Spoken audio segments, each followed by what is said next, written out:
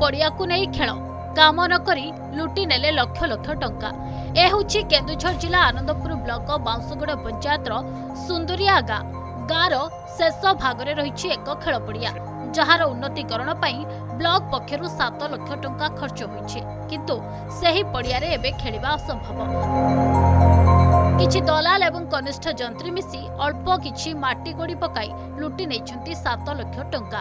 পড়িয়ারে মাটি গোড়ি পড়ি সেঠারে খেলিবা অসম্ভব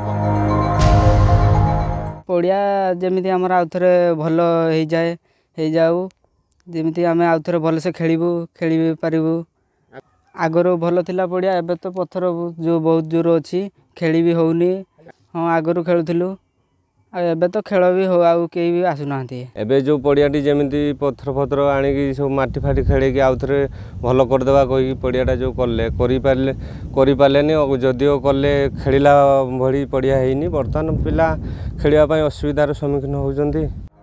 ସରକାରୀ ଅଧିକାରୀ ଓ ଦଲାଲଙ୍କ ମଧୁଚନ୍ଦ୍ରିକାରେ ଆତ୍ମସାତ ହେଉଛି ସରକାରୀ ଅର୍ଥ। କୌଣସି ସରକାରୀ କାମ କଲେ ସମସ୍ତ ବିବରଣୀ ସୂଚନା ଫଳକରେ ଦର୍ଶାଇବାର ନିୟମ ରହିଛି। ହେଲେ ଏଠାରେ ନିର୍ମିତ ହୋଇଥିବା ସୂଚନା ଫଳକ ଭୁଷୁଡ଼ି ପଡ଼ିଛି। ଘଟଣାକୁ ନେଇ ଗ୍ରାମବାସୀ ଅସନ୍ତୋଷ ବ୍ୟକ୍ତ କରିଥିବା ବେଳେ ତଦନ୍ତ କରି କାର୍ଯ୍ୟାନୁଷ୍ଠାନ ନିଆଯିବ ବୋଲି ପ୍ରତିଶ୍ରୁତି ଦେଇଛନ୍ତି ଆନନ୍ଦପୁର ବିଡିଓ।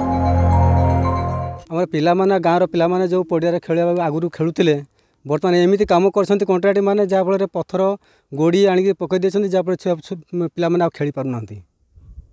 ଗଛପତ୍ର ହେଇଗଲାଣି। ଏ ପଡ଼ିଆକୁ ଆଉ ଟୋଟାଲ୍ ଖେଳିବା ପାଇଁ ବି ପିଲାମାନେ ଆସୁନାହାନ୍ତି। ଏଣୁ ତଦନ୍ତ କରାଯାଉ। ଆଉ ଥରେ ଯେମିତି ଫିଲ୍ଡଟାକୁ ମରାମତି କରିକି ସୁନ୍ଦର ଭାବରେ କ- କରାଯାଉ। ଠିକ୍ ଅଛି ମୁଁ ସେ ସ୍ପଟ୍ ଉପରକୁ ଯିବି ଭେରିଫାଇ କରି ଆପଣଙ୍କୁ ତାର ସଠିକ୍ ଉତ୍ତର ଦେବି ଆର କିଛି ଭୁଲ ଥାଏ ମୁଁ ପୁଙ୍ଖାନୁପୁଙ୍ଖ ତଦନ୍ତ କରିବି ଏବଂ ଯାହା ପ୍ରତି ଆକ୍ସନ୍ ନେବା କଥା ନିଶ୍ଚୟ ମୁଁ ନେବି। ସରକାର ଖେଳ ଓ ଖେଳାଳିଙ୍କ ଉନ୍ନତି ପାଇଁ କୋଟି କୋଟି ଟଙ୍କା ଖର୍ଚ୍ଚ କରୁଛନ୍ତି। ହେଲେ ଗ୍ରାଉଣ୍ଡର ସ୍ଥିତି ଏମିତି। ପ୍ରଶ୍ନ ଉଠୁଛି ଖେଳ ପଡ଼ିଆରେ ଇଏ କିଭଳି କାମ? ଦୁର୍ନୀତିରେ କେଉଁ ସରକାରୀ ଅଧିକାରୀ ସମ୍ପୃକ୍ତ? ବିଡିଓ ଦେଇଥିବା ପ୍ରତିଶ୍ରୁତି ରକ୍ଷା କରିବେ ତ? ଆନନ୍ଦପୁରରୁ ସତ୍ୟଜିତ ସାହୁଙ୍କ ରିପୋର୍ଟ ଅର୍ଗସ୍ ନ୍ୟୁଜ୍।